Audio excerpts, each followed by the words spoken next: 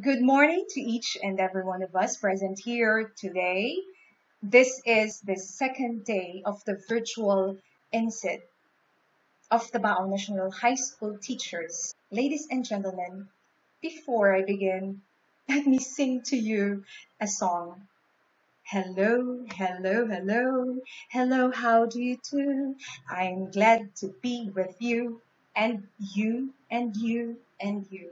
I am really so glad to be with each and every one of us, even during this COVID 19 pandemic time. Why did I say pandemic time? Because my, my task today, I will be discussing to you the roles of online teachers in this pandemic world. And so I repeat. The objectives of my topic today are the following.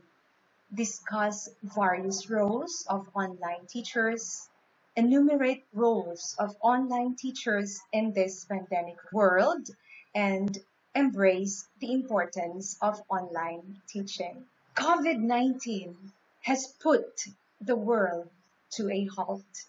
Stop.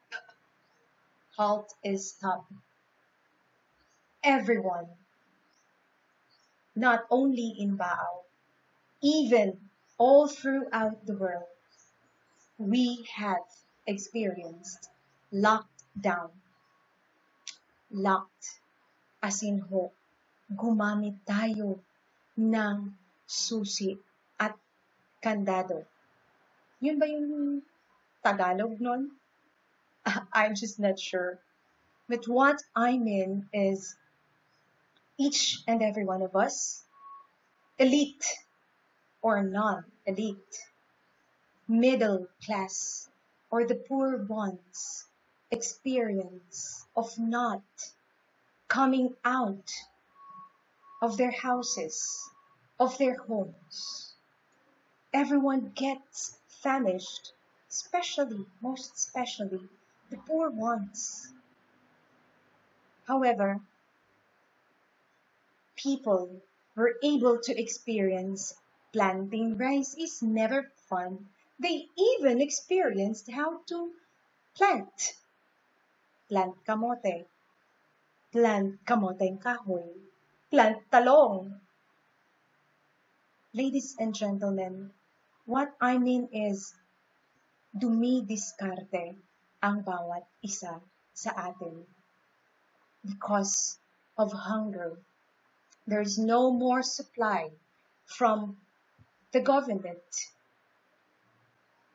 COVID-19 is indeed nakakasakit ng puso. Kasi hanggang ngayon, we still experience this COVID-19. Ang sabi, yung Russia daw may na-invento na.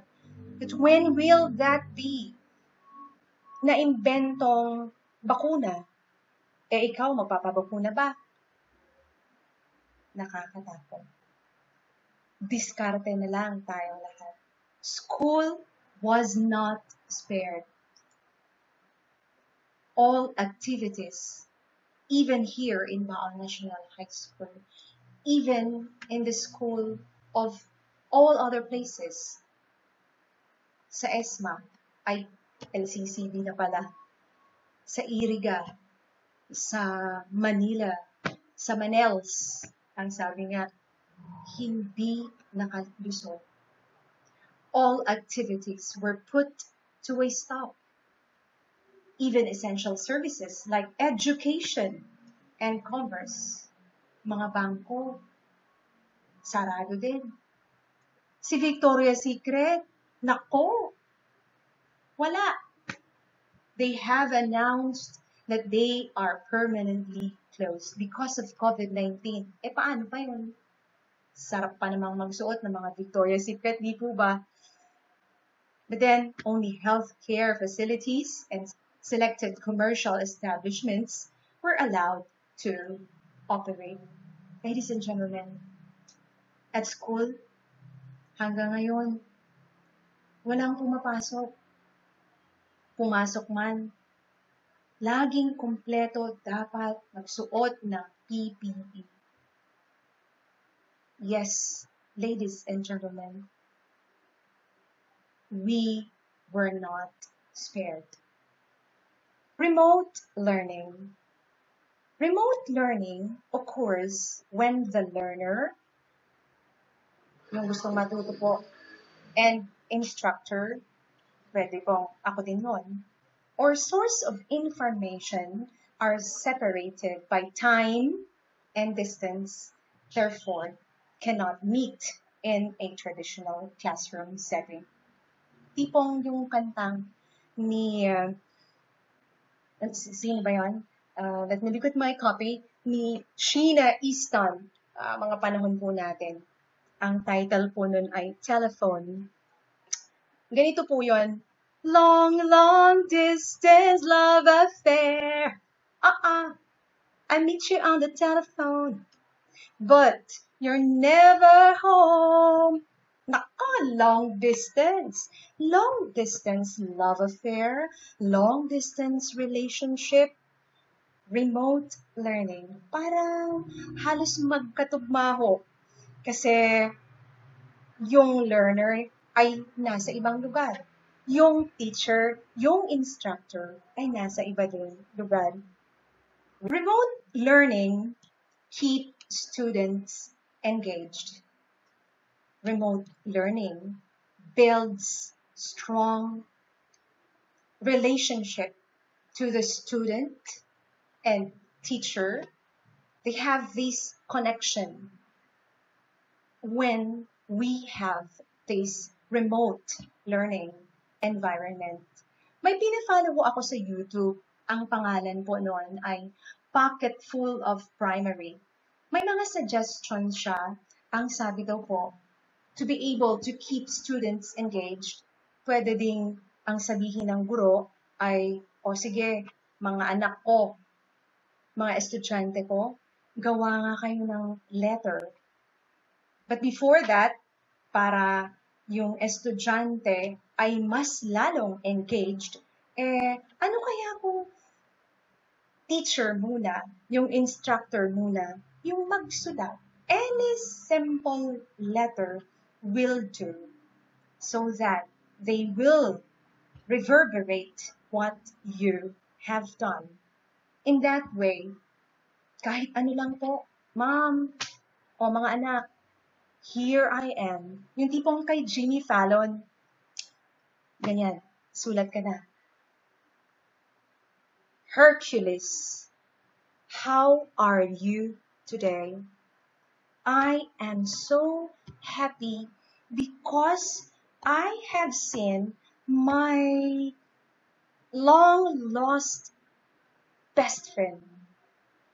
What about you? What did you do today? Hercules, your teacher, Ma'am Sheena.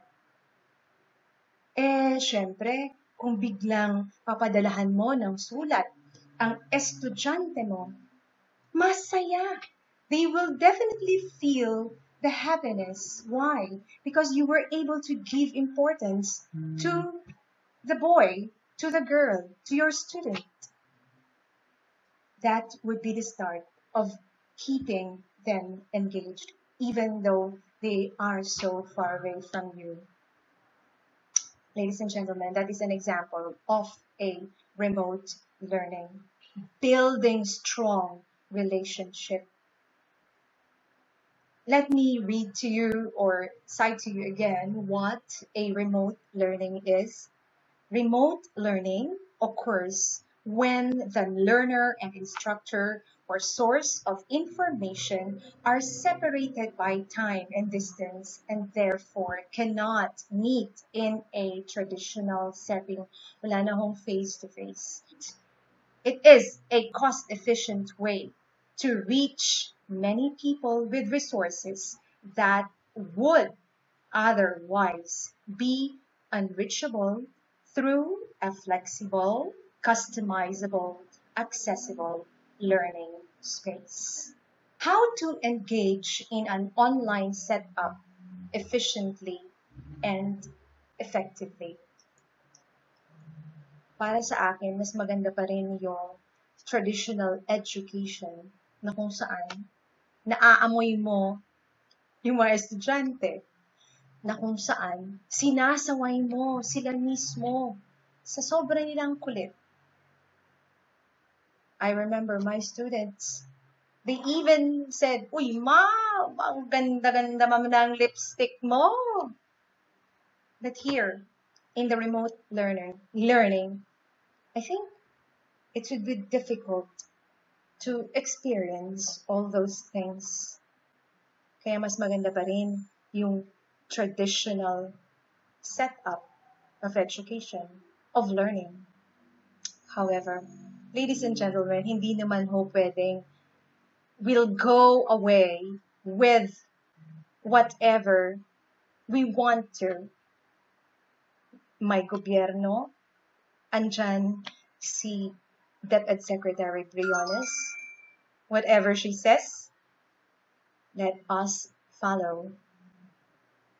Prevention is better than cure.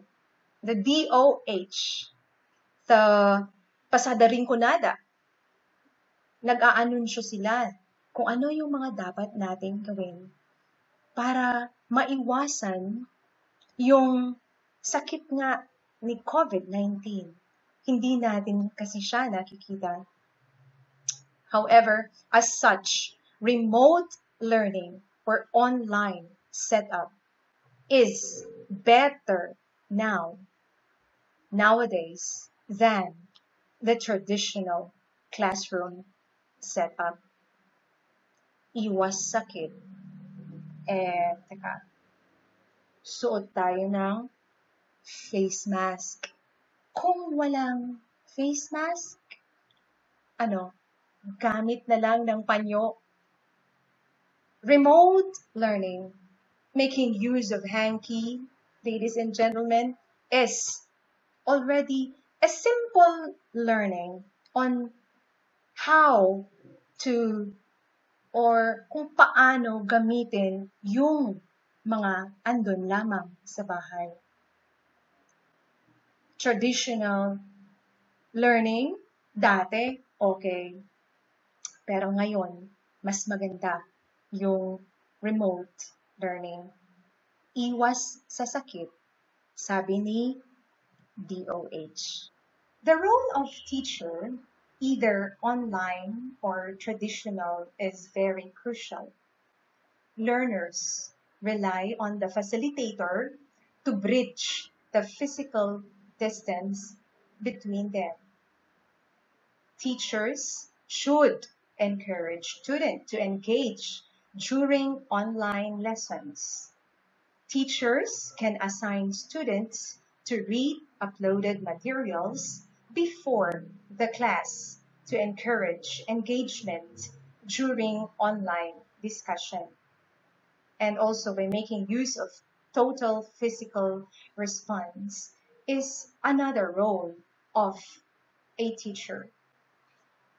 Sabi nga po, I remember Ma'am Juby telling me, yung itsura pa lang ng guro, whether you are conducting online classes or whether it is traditional, itsura mo pa lang on how you are going to project yourself in front of your students is already an example of, of, letting your students be engaged with you.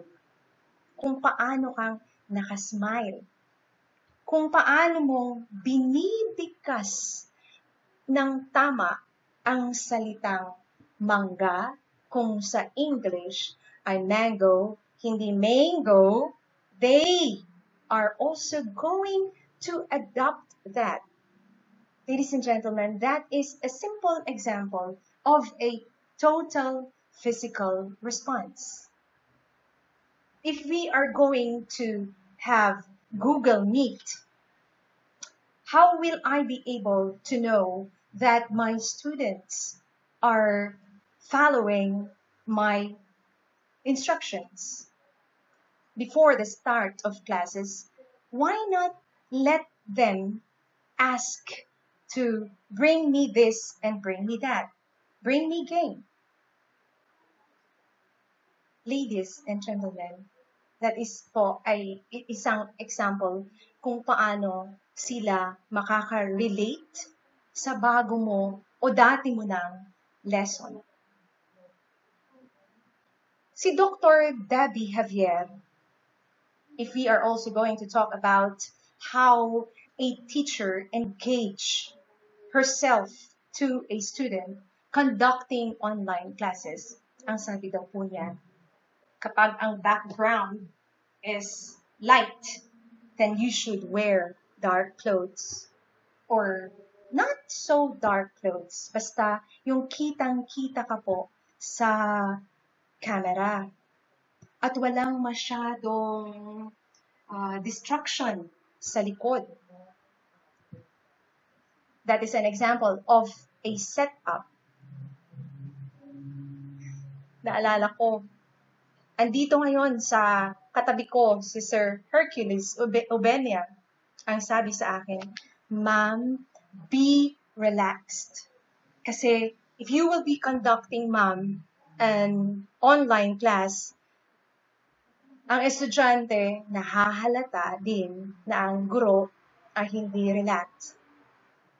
Habang po nagtitaping kami as to when, will, whenever that be, ang sabi sa akin ni Sir Hercules, dapat daw merong magandang lighting. Merong magandang sound. That is, I think, one role of a teacher to be able to be conscious of the the the room of the study room that she too will have comes August 24. That is, if we are going to conduct an online synchronous learning. Ang sabi pa sa, sa, sa account ni Dr. Debbie Javier, make your lesson simple, make your lesson short, make a little background, and your presentation should be visually clear so that the students will be able to respond to you very well. There are considerations when working with students remotely. Number one, technology. Number two, students' emotional needs. Another one is we should also include electives. The next one would probably be the bandwidth and other demands on students. Technology. Eh, kapag technology po, ang simpleng tanong po ay, do they have the gadget? Meron po ba silang 3210? Meron po ba silang 8210? Meron po ba silang Samsung Galaxy Note? Meron po ba silang simpleng pang-text? Meron po ba silang laptop? May smartphone? my phablet? my tablet? Naku, nakaka uh, mapuok as we say that. What about the the the families who cannot provide the teacher or who cannot provide their children to have at least one cell phone. You should also take into consideration the students' emotional needs. Are they ready with online learning? handa na ba sila na kumuha ng mga modules kung saan yung mga post na kukuhanan ng mga parents? Handa na ba silang matutong mag-isa with the guidance of the parents? What do you think would their emotions be? Ano ba yung experiences nila within the day, throughout the day. Masaya, malungkot, will they be able to learn during the day with those different experiences, with those different emotions? And next another one is we should also include electives, social media presence, Instagram, Facebook, ano pa ba? Twitter accounts, online games, Candy Crush. Naku, naalala ko rin na humaling din ako sa paglaro ng Temple Run. Minsan, na I remember na past midnight na pala, I need to sleep. But online games, naku, nakaka, in our term, nakakalawgaw. There is no more focus with the lessons. Much more if we are going to have the remote learning, the online learning. We should also take into consideration the peers, the responses of the peers. Ano ba, okay ba sa mga barkada mo, mga kaibigan mo, ako, estudyante, okay ba sa akin na mag-enroll remote with this remote learning? Okay ba? Ano bang susundin ko? Modular learning? Alam ko na ba kung ano yung synchronous learning? Alam ko na ba yung asynchronous learning? These topics were already discussed by Mane Judith yesterday. Blended learning, in other words. We should also take into consideration ang napakabagal, ang napakabilis ng network natin, bandwidth, ang mga estudyante, do they have enough data? Eh, yung globe, gaano ba kabilis? Yung nabibili nating data everyday.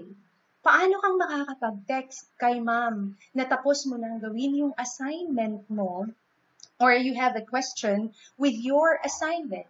Eh, wala ngang pambili ng globe. Is network Globe, Smart, Converge, PLDT, and etc. etc. Are they always stable? We should take into consideration those things. But ladies and gentlemen, let us not be too negative about this. We should be able to take this positively.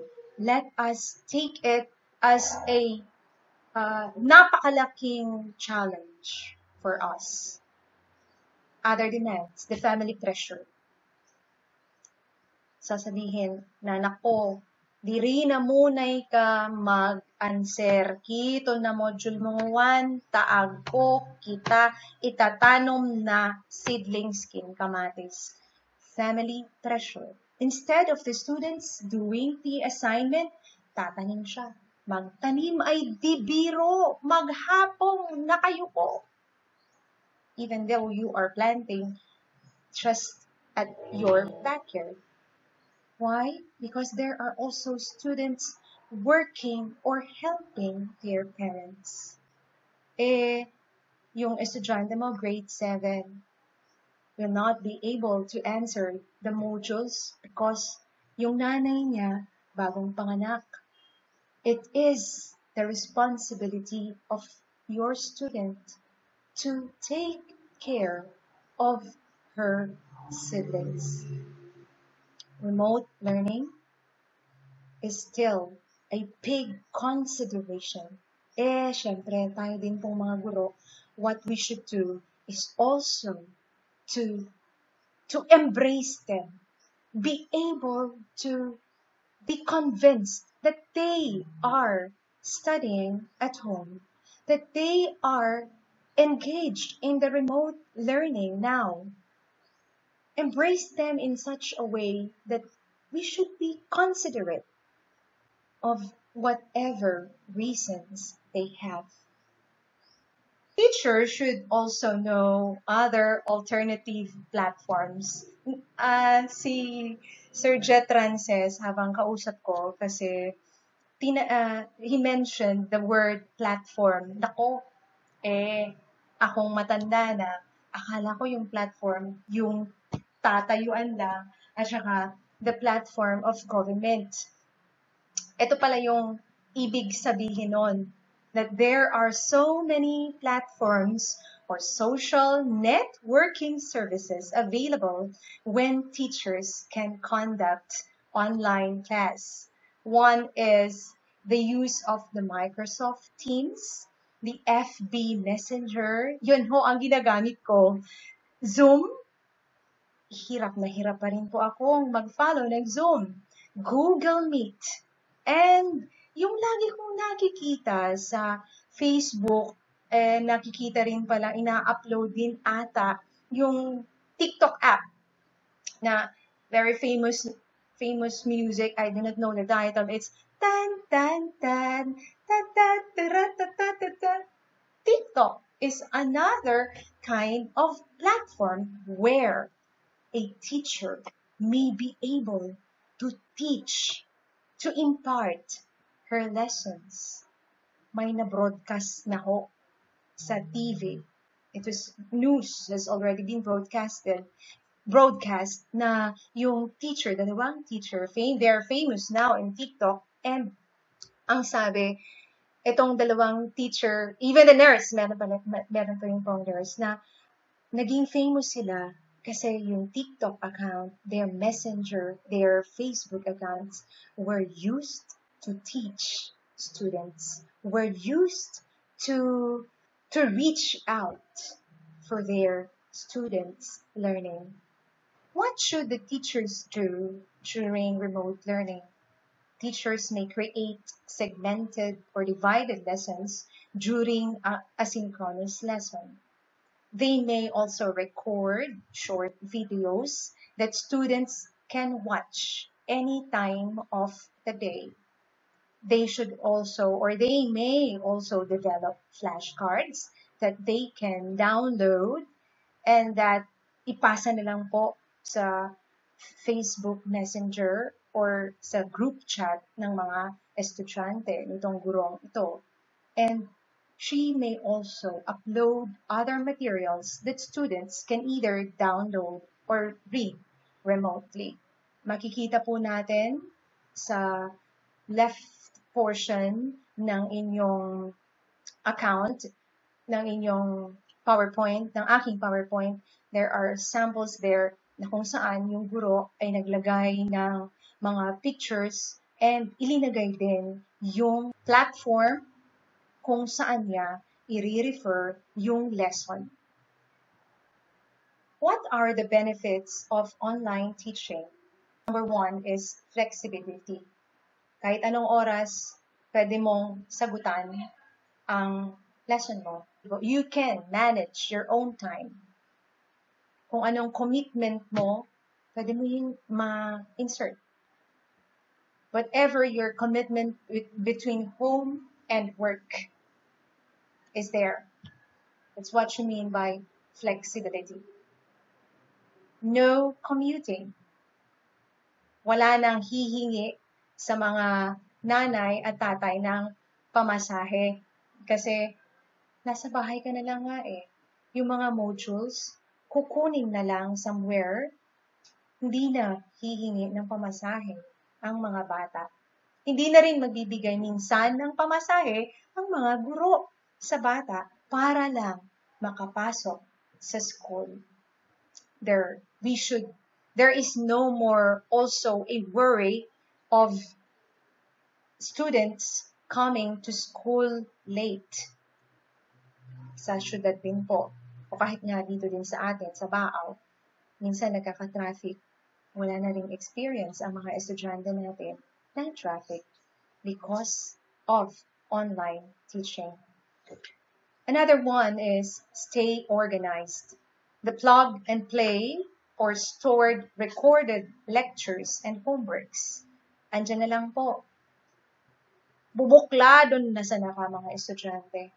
Sisilingan na sana to be able to, that, that students will be able to stay organized.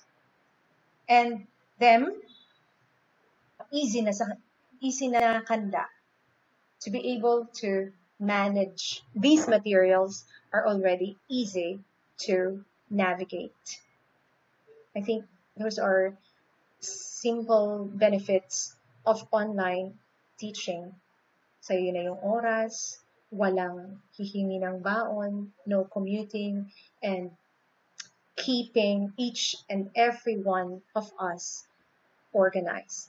In the last day of our webinar, RD Gilbert T. Sedsad, the Regional Director of Region 5, ang sabi po niya, let us always be inspired to do our tasks in our field of expertise. Sakit. Laka-difícil. But look at him speaking. Ang pag-inspire sa atin ni RD to be able to push it, to do it, to embrace, to welcome online learning is there. Before I end my topic, there is a quote there that you can see. Ang sabi po, let us choose to be optimistic. It feels better. Face-to-face, online learning, kahit ano doon. Okay yun. Let us be always positive thinkers. Pero alam niyo po, hindi pa rin po ako nawawala ng pag-asa that someday soon, we will be able to see each other again. We will have a face-to-face connections with our students. Ang sabi nga po ni Queen, Bring it back, bring it back. Don't take it away from me because you don't know what it means to me. Thank you po. I hope you have learned something in our discussion today. The roles of online teachers in this pandemic world. Maraming salamat.